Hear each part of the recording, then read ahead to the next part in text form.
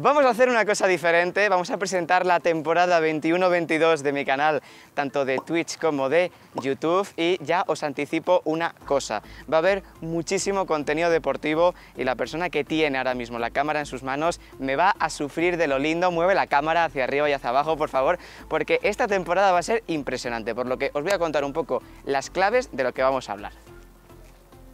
Lo primero, vamos a hablar del canal de Twitch. Ya sabemos que la temporada pasada empecé haciendo alguna que otra cosa, algún que otro programa. Es cierto que más cutre que menos, pero esta temporada vamos a seguir con el canal de Twitch con cuatro programas. El primero de ellos, evidentemente, One by One. Seguimos con las entrevistas. Entrevistas en este caso que no va... Acércate, acércate sin miedo, que no va a tener carácter deportivo. Son entrevistas tanto a periodistas, gente social, etc. Y aquí os dejo un resumen de lo que ha sido la temporada pasada.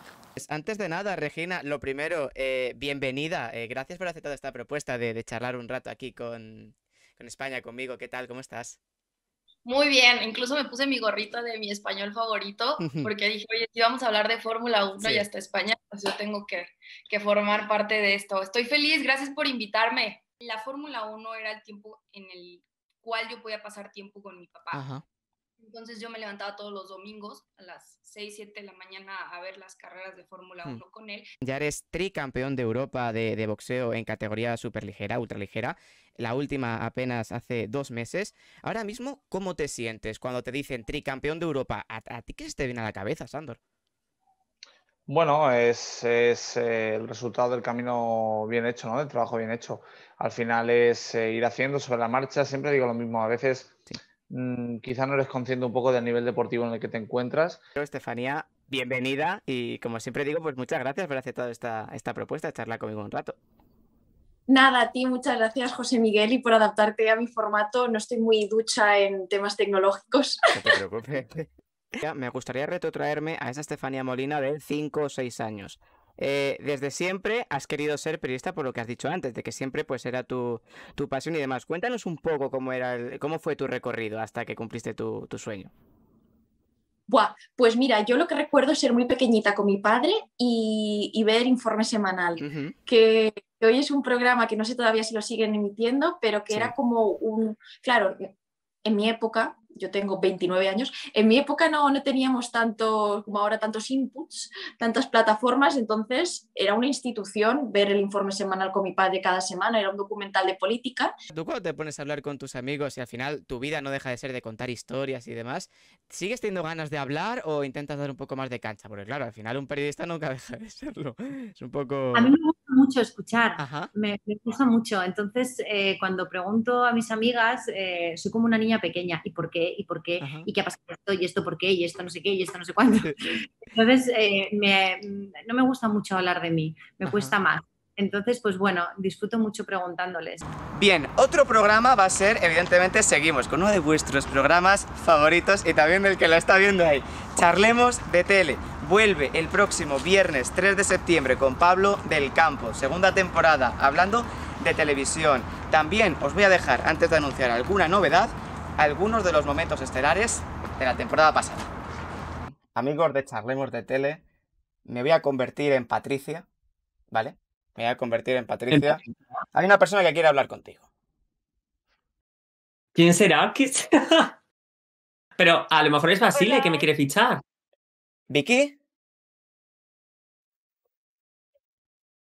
Vicky, sí, bueno, aquí está tu, tu, hermano. ¿Le quieres decir algo sobre el inicio de estas prácticas o, algo? Felices por él porque al final es su sueño y... Casi que mejor te pues mando un audio. Pues, muy felices que pueda sueños y muy orgullosos y que nada, nosotros le queremos decir que saque eh, pues de estas prácticas que al final acabas con una oportunidad que el máximo provecho posible. Eh, Carolina, a ver, a ver. ¿qué día en concreto nació Carlos? día, mes y año. cumpleaños. Pues es el 10 de junio del 97. Sí, ¿no? Es el 20 de junio. Del 97. Bueno, es que, ¿qué he dicho? 10. El 10. Bueno, porque yo te felicito, el 10 20. El suyo es el 15 de marzo de 1993. Perfecto. Se va equilibrando, 2-1 vamos. 2-1, sí. Yo creo que 4 está buscando reportera, ¿eh? Eh, sí, porque mañana aparece en una coneta, ya os lo digo. La propuesta del Play Something o, la propuesta del canal lineal creo que tienen un poco esas dos, esas dos lecturas. Por una parte, simplificar la elección de contenidos, ofrecer un descubrimiento haciendo que el sistema te reproduzca contenido en base a criterios que desconocemos. Esta temporada ya la empezamos desde el inicio prácticamente, porque el año pasado empezamos en febrero, y en esta ocasión vamos a intentar hacer más mesas de análisis, programas, debates, etcétera, hablar más con gente de la televisión. Y además, por cierto, nuevos grafismos, nueva línea gráfica, vamos a intentar hacer más llamadas, como acabáis de ver. Van a venir cosas guapas. Otro programa va a ser, acércate, no te preocupes, otro programa va a ser ya las novedades deportivas. Primero, recordáis que la temporada pasada tenía Parábola y Gol, que únicamente hice dos debates, pero bueno, ahí está el programa. Esta temporada cambia, vamos a hablar de fútbol, vamos a hablar de fútbol en directo. ¿Y en forma de qué? simplemente Parábola. Parábola va a ser el programa donde de repente pues abres directo para hablar de fútbol, para entrevistar a alguien, periodistas futboleros, etcétera, de todo. Y evidentemente también los debates. Volverá Parábola y Gol, que también estuvo el tipo que está detrás de la cámara, al cual le estoy interpelando mucho, va a volver Parábola y Gol durante esta temporada. Y vamos a ver el programa nuevo de esta temporada clave. Y el programa clave de esta temporada y que es un poco el ejemplo de por qué quiero hacer más cosas de carácter deportivo, es los Juegos Olímpicos de Tokio 2020 nos demostraron que hay que tener más en cuenta a, los deportistas, no solo al mundo del fútbol, sino el mundo del tenis, balonmano, waterpolo, atletismo, etc. Y es por eso por lo que voy a crear protas.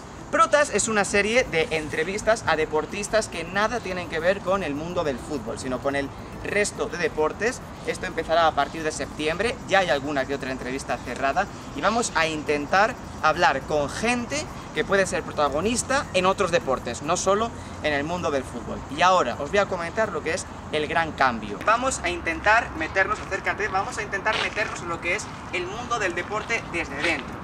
¿Por qué? Porque como decía antes, los Juegos Olímpicos nos han dado la demostración de que grandes deportistas realmente no sabíamos de su existencia antes de los Juegos.